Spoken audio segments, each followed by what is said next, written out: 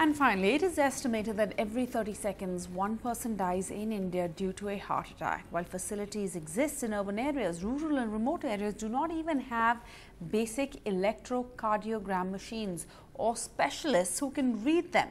Well, now scientists at the Bhabha Atomic Research Center have developed a really small credit card sized tele ECG machine that can transmit an ECG over the phone to save lives. And this is now commercially available.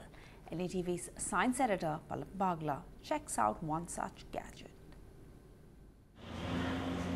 Scientists at the Bhabha Atomic Research Center in Mumbai, better known for making atom bombs, have made a really small life-saving device.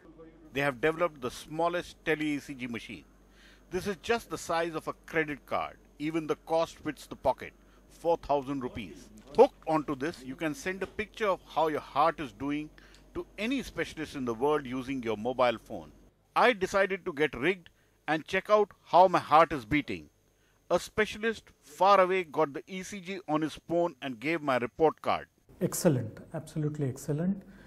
And uh, it has come to me in two, three formats, so I can choose which view, which to view.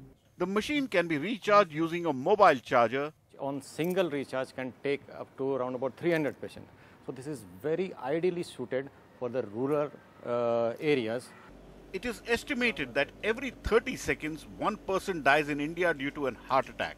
The Bhabha Atomic Research Center, saving lives. With camera person Abdullah in Mumbai, Pallava Bagla for NDTV.